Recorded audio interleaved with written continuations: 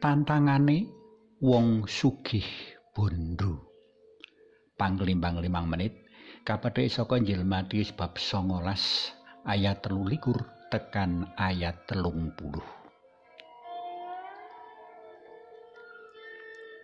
menapa resder tiang sugih niku angel mlebet swarga?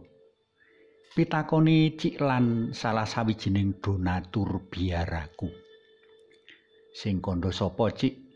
Jenengan ki didongake wong sak biara lho.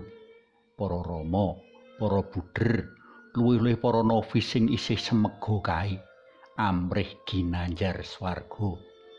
Coba jenengan galih menawa ora ana wong sugih lan dermawan kaya jenengan iki para rama pemimpin biara rak kentekan tenaga wektu lan pikiran kanggo ngopeni frateri ning merga ana wong-wong sugih lan dermawan kaya jenengan iki para rama pengelola biara iso munjer lan manter ing tanggung jawab ndampingi lan gulawentah para frater ben dadi buder lan rama sing pitaya. Mongso Gusti mentolo nglirwake bisungsung jenengan-jenengan sing luar biasa iki cik. Cik lan mujudake salah sawijining wong sugih kang migunakake brono dunyane selaras karo sing piwulang dina iki. Isih gampang ana unta bisa mlebu bolonganing dom katimbang karo wong sugih arep mlebu ing kratoning swarga.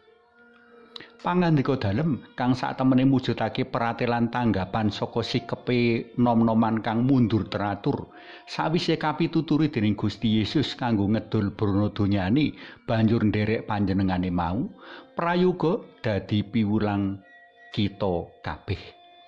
Bondo mono amung titipaning Allah kang Maha Sugih mula kudu kapigunakake selaras karo kersa panjenengane.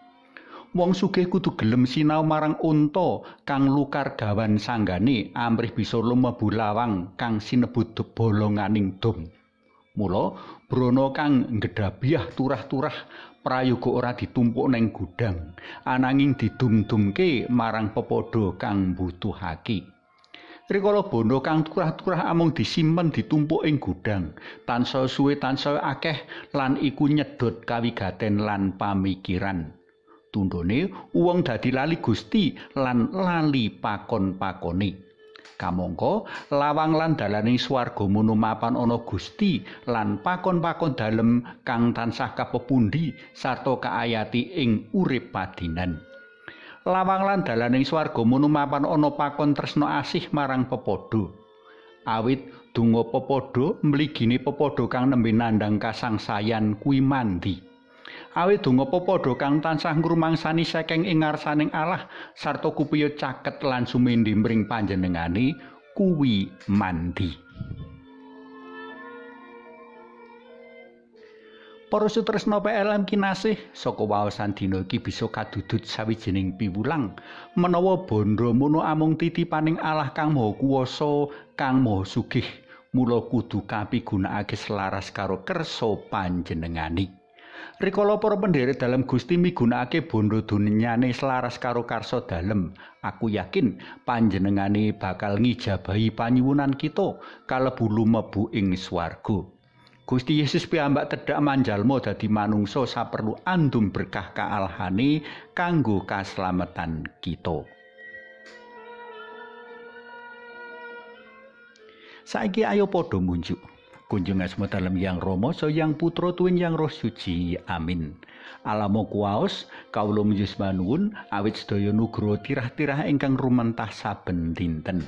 Sacara mligi kaulo menjus manuun awit Bruno donya ingkang panjenengan kantekaken ugi kawula glenggono bilih sedaya wau namung titipan paduka pramila mugi tansah kaengetno amrih kawula boten mendem bondo lan mendem bondo ingkang boten lono menika. Mugi nurno yang Rama yang putra tuwing yang roh suci kados sing mulo buka samenika sarta ing salami-laminipun. Amin. Kunjung asma dalem yang Rama so yang putra tuwin yang roh suci. Amin